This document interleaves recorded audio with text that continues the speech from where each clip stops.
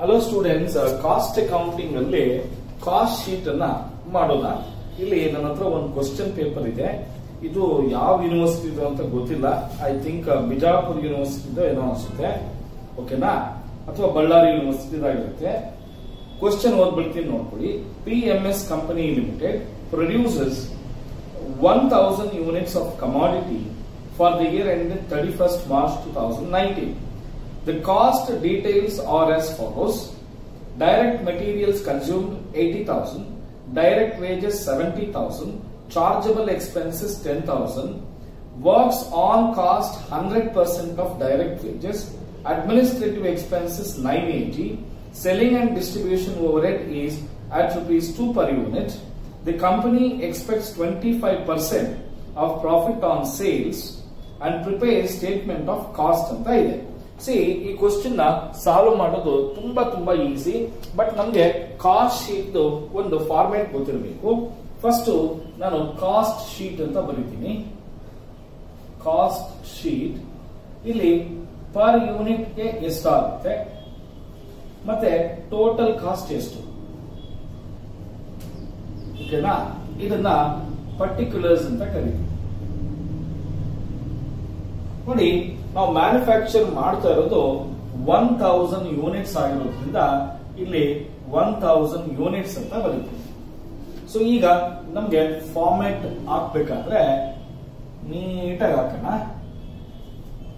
ಇದು per unit ಇದು particulars ಓಕೆನಾ ಈಗ ನಮಗೆ ಫಸ್ಟ್ ಬೇಕಾಗಿರೋದು direct materials consume direct materials consumed ಅಂತ ಇದೆ. ಏಯ್ಟಿ ತೌಸಂಡ್ ರುಪೀಸ್ ಇದೆ. See eighty thousand rupees one thousand units ಆದ್ರೆ, ಒಂದು ಯೂನಿಟ್ ಎಷ್ಟಾಗುತ್ತೆ ಅಂದ್ರೆ ಏಯ್ಟಿ ರುಪೀಸ್ ಪರ್ ಯೂನಿಟ್ ಆಗುತ್ತೆ. ಹಾಗೆ ಚಾರ್ಜಬಲ್ ಎಕ್ಸ್ಪೆನ್ಸಸ್ ಅಂತ ಅಥವಾ ಡೈರೆಕ್ಟ್ ವೇಜಸ್ ಅಂತ ಇದೆ. Direct wages seventy thousand rupees ಇದೆ. ಇದು ಒನ್ ತೌಸಂಡ್ ಯೂನಿಟ್ಸ್ ಆದ್ರೆ ಒಂದು ಯೂನಿಟ್ಗೆ ಸೆವೆಂಟಿ ರುಪೀಸ್ ಆಗುತ್ತೆ. Chargeable expenses is nothing but direct expenses so chargeable expenses ten thousand rupees ಇದೆ. ಇದು ಒನ್ ತೌಸಂಡ್ ಯೂನಿಟ್ಗೆ ಒನ್ ಯೂನಿಟ್ ಎಷ್ಟಾಗುತ್ತೆ ಈಗ ನಮ್ಗೆ direct material direct labour and direct expenses ಇಷ್ಟು ಸೇರಿದ್ರೆ ನಮಗ್ ಬರ್ತಕ್ಕಂಥದ್ದು ಪ್ರೈಮ್ ಕಾಸ್ಟ್ ಅಂತ ಕರಿತೀವಿ. ಪ್ರೈಮ್ ಕಾಸ್ಟ್ ಎಷ್ಟು ಬರ್ತಾ ಇದೆ ಅಂದ್ರೆ one sixty rupees and one lakh sixty thousand rupees ಆಗ್ತಾ ಇದೆ. ನೋಡಿ, ಈ ಪ್ರೈಮ್ ಕಾಸ್ಟ್ಗೆ ನಾವು ವರ್ಕ್ಸ್ ಓವರ್ ಹೆಡ್ ಅಥವಾ ಫ್ಯಾಕ್ಟರಿ ಓವರ್ ಹೆಡ್ನ ಆಡ್ ಮಾಡಬೇಕು. ಇಲ್ಲಿ ಕ್ವಶನ್ ಅಲ್ಲಿ ಏನಪ್ಪ ಕೊಟ್ಟಿದ್ದಾರೆ ಅಂತ ಹೇಳಿದ್ರೆ ವರ್ಕ್ಸ್ ಆನ್ ಕಾಸ್ಟ್ ಅಂದ್ರೂ ಒಂದೇ ವರ್ಕ್ಸ್ ಓವರ್ ಹೆಡ್ಸ್ ಅಂದ್ರೂ ಒಂದೇ hundred percent of direct wages ಅಂತ ಹೇಳ್ತಾರೆ. ನೋಡಿ hundred percent of direct wages ನೋಡಿ ಡೈರೆಕ್ಟ್ ವೇಜಸ್ ಎಷ್ಟಿದೆಯಪ್ಪ ಅಂದ್ರೆ ಸೆವೆಂಟಿ ತೌಸಂಡ್ ಇದೆ. ಸೊ ಸೆವೆಂಟಿ ತೌಸಂಡ್ ರುಪೀಸ್ ಹಾಗೆ ಬರೆದ್ವಿ ಸೆವೆಂಟಿ ರುಪೀಸ್ ಪರ್ ಯೂನಿಟ್ ಆಗುತ್ತೆ. ಈಗ ಬರ್ತಕ್ಕಂಥದ್ದನ್ನ ನಾನು ವರ್ಕ್ಸ್ ಕಾಸ್ಟ್ ಅಂತ ಹೇಳ್ತೀನಿ. ಸೊ ಈಗ ಇದು ಟೂ ಹಂಡ್ರೆಡ್ ಅಂಡ್ ತರ್ಟಿ ಇದು two lakh thirty thousand rupees ಬರ್ತಾ ಇದೆ. ನೆಕ್ಸ್ಟ್ ಈ ವರ್ಕ್ಸ್ ಕಾಸ್ಟ್ಗೆ ಓಕೆನಾ ನೆಕ್ಸ್ಟ್ ಆಡ್ ಮಾಡಬೇಕಾಗಿರೋದು ನಾವು ಅಡ್ಮಿನಿಸ್ಟ್ರೇಷನ್ ಅಥವಾ ಆಫೀಸ್ ಓವರ್ ಹೆಡ್ಸ್ನ ಆಡ್ ಮಾಡಬೇಕು. ಇಲ್ಲಿ ಏನಂತ ಹೇಳಿದ್ದಾರೆ ಅಂದ್ರೆ ಅಡ್ಮಿನಿಸ್ಟ್ರೇಟಿವ್ ಎಕ್ಸ್ಪೆನ್ಸಸ್ ಎಷ್ಟು ಅಂತ ಹೇಳಿದ್ದಾರೆ ಅಂದ್ರೆ ನೈಂಟಿ ಏಟ್ ಥೌಸಂಡ್ ರುಪೀಸ್ ಅಂತ ಹೇಳ್ತಾ ಇದ್ದಾರೆ. Ninety eight thousand rupees ninety eight thousand one thousand unit ಆದ್ರೆ ಒನ್ ಯೂನಿಟ್ಗೆ ನೈಂಟಿ ಏಟ್ ರುಪೀಸ್ ಆಗುತ್ತೆ. ಸೊ ದೇರ್ ಬೈ ನಮ್ಗೆ eight two three lakh twenty eight thousand rupees ಬರುತ್ತೆ. ಇದು ತ್ರೀ ಟ್ವೆಂಟಿ ಏಟ್ ರುಪೀಸ್ ಆಗುತ್ತೆ. ಇನ್ನ ಇದನ್ನ ನಾವೇನಂತ ಹೇಳ್ಬೋದು ಅಂದ್ರೆ ಕಾಸ್ಟ್ ಆಫ್ ಗೂಡ್ಸ್ ಸೋಲ್ಡ್ ಅಂತ ಹೇಳ್ಬೋದು. ಈ ಕಾಸ್ಟ್ ಆಫ್ ಗೂಡ್ಸ್ ಸೋಲ್ಡ್ಗೆ ಸೆಲ್ಲಿಂಗ್ ಅಂಡ್ ಡಿಸ್ಟ್ರಿಬ್ಯೂಷನ್ ಓವರ್ ಹೆಡ್ಸ್ನ ಆಡ್ ಮಾಡಬೇಕು. ಆಡ್ ಮಾಡಿದ್ರೆ ಎಷ್ಟಂತ ಹೇಳ್ತಾ ಇದ್ದಾನೆ ಅಂದ್ರೆ ಒಂದು ಯೂನಿಟ್ಗೆ ಎರಡು ರೂಪಾಯಿ ಸೇಲ್ ಮಾಡ್ತಾ ಇದ್ದೀರಂತೆ ಇಲ್ಲಿ ನಂಬರ್ ಆಫ್ ಯೂನಿಟ್ಸ್ ಎಷ್ಟು ಸೇಲ್ ಆಗ್ತಾ ಇದೆ ಅಂತ ಕೊಟ್ಟಿಲ್ಲ. ಕೊಟ್ಟಿಲ್ಲ ಅಂದಾಗ ನಾವು ಎಷ್ಟು ಯೂನಿಟ್ಸ್ನ ಪ್ರೊಡ್ಯೂಸ್ ಮಾಡ್ತಾ ಇದ್ದೀವಿ ಅಂತ ಹೇಳಿದ್ರೆ ಒನ್ ಥೌಸಂಡ್ ಯೂನಿಟ್ಸ್ನ ಪ್ರೊಡ್ಯೂಸ್ ಮಾಡ್ತಾ ಇದ್ದೀವಿ.